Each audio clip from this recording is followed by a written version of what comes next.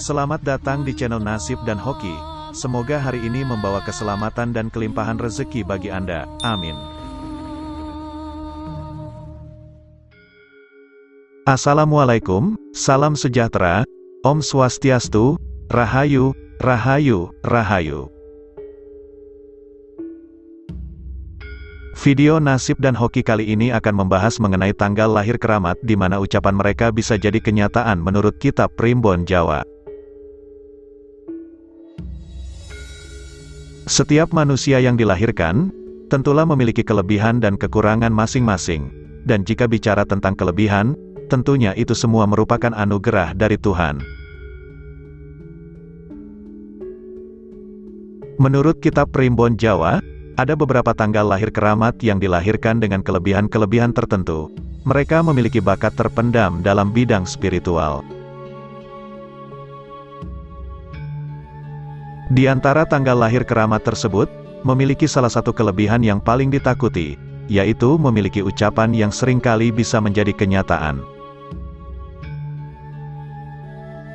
Berikut ini adalah sembilan tanggal lahir keramat yang memiliki berbagai bakat spiritual menurut kitab Primbon Jawa. Tanggal lahir keramat yang pertama, adalah mereka yang lahir pada tanggal 2. Orang yang lahir pada tanggal 2 adalah mereka yang cenderung menunjukkan sikap emosional dan sensitif. Emosi di sini tidak hanya amarah, namun semuanya, yaitu senang, sedih, dan lain-lain. Terkadang mereka juga sering gugup dan pelupa.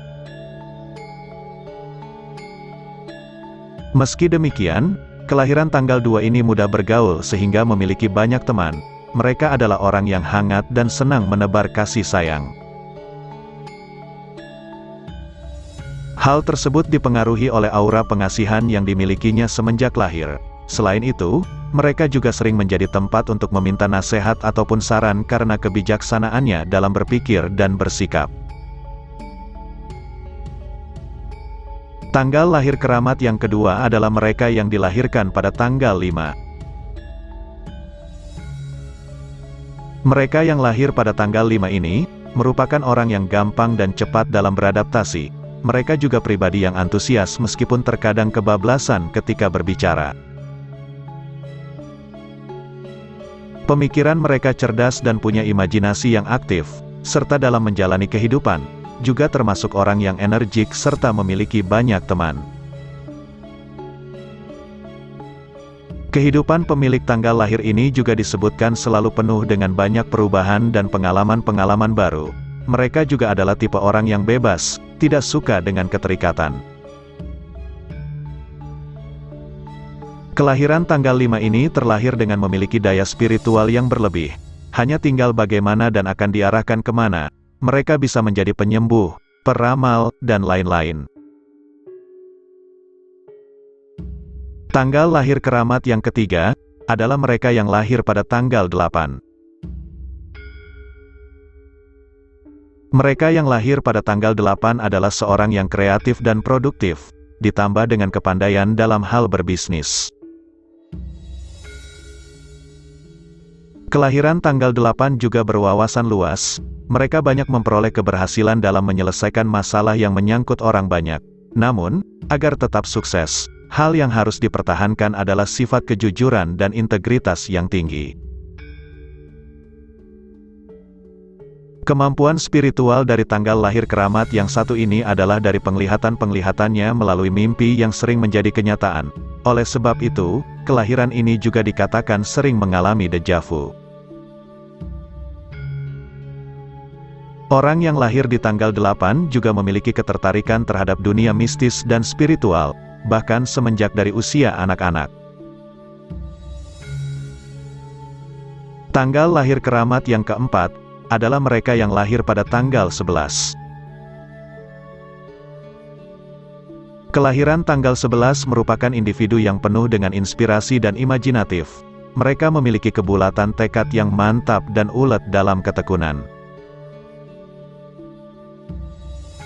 Kelahiran tanggal ini tidak jarang bersikap perfeksionis. mereka terkadang sering menuntut orang lain agar menjadi satu level dengan dirinya, namun terlepas dari itu, mereka adalah orang yang cerdik dan brilian.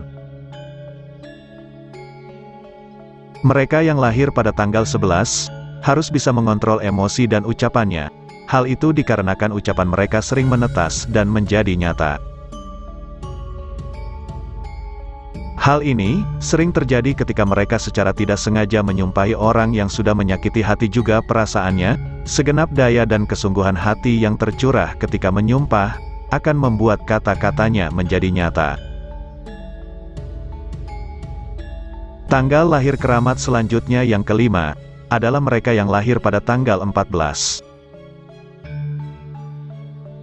Seseorang yang lahir pada tanggal 14 merupakan orang yang terampil dan berkepribadian. Namun, pemikiran logis mereka tidak membuatnya mengesampingkan ramalan. Mereka juga sangat disukai oleh orang lain karena memiliki simpati dan empati yang sangat baik terhadap lingkungan sekitarnya.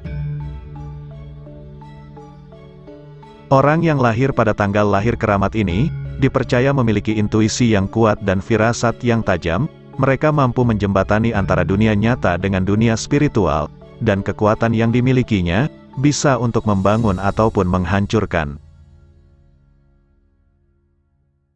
Tanggal lahir keramat yang keenam, adalah mereka yang lahir pada tanggal 17. Karakter utama dari orang yang lahir pada tanggal 17 adalah keinginannya untuk mengontrol ataupun memimpin lingkungannya. Mereka sangat tertarik dalam urusan-urusan besar dan penting. Kelahiran tanggal 17 ini juga memiliki kepribadian yang teguh, akan sulit untuk merubah keputusan yang sudah menjadi ketetapan hatinya. Kelebihan dari tanggal lahir 17 ini, terletak dalam kemampuannya yang dapat dengan mudah dan cepat menyerap ilmu. Bahkan terkadang mereka bisa menjadi ahli dalam bidang tertentu dengan cara belajar sendiri secara otodidak. Dan apabila kelahiran ini mau mengasah kepekaan indera dan batinnya, maka mereka akan bisa mendaya gunakannya dengan mudah.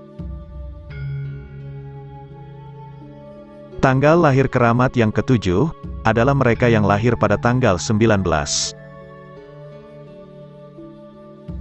Karakter kelahiran tanggal 19 adalah orang yang sangat mandiri dan tidak mudah menyerah pada keadaan. Mereka merupakan orang yang ulet, tekun, dan mengedepankan logika. Mereka sangat menyukai perubahan dan akan beradaptasi dengan mudah. Namun yang harus diperhatikan adalah pengendalian emosi. Mereka bisa sukses atau malah hancur jika tidak bisa mengontrol emosinya.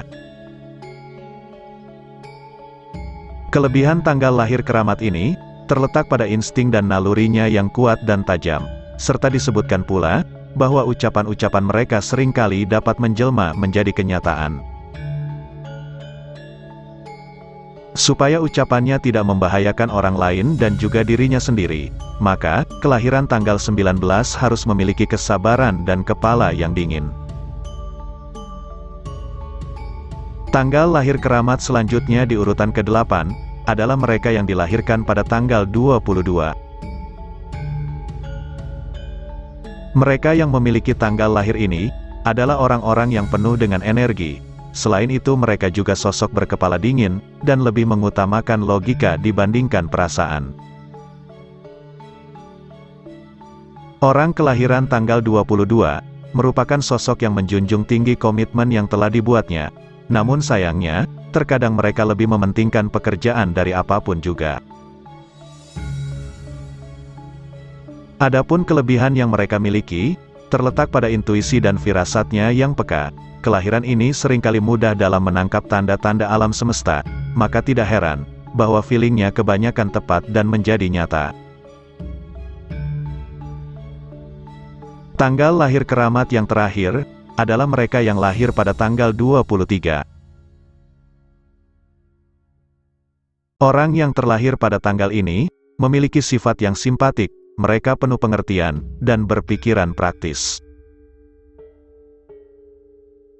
Kemandiriannya membuat kelahiran ini memiliki rasa percaya diri yang tinggi, mereka adalah tipe orang yang mampu mencari penghidupan untuk dirinya sendiri.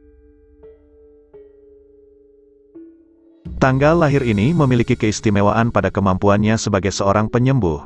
Mereka akan sangat cocok apabila bekerja dalam bidang medis, pengobatan, dan lain-lain. Demikianlah video mengenai tanggal lahir keramat, di mana beberapa di antaranya memiliki ucapan yang bisa menjadi kenyataan. Jika Anda suka dengan video ini, jangan lupa beri dukungan dengan cara subscribe dan share. Terima kasih. Semoga video ini dapat mendatangkan manfaat dan kebaikan bagi kita semua. Akhir kata, admin doakan agar Anda sekeluarga selalu diberi keselamatan dan kelancaran dalam mencapai hajat dan cita-cita. Amin.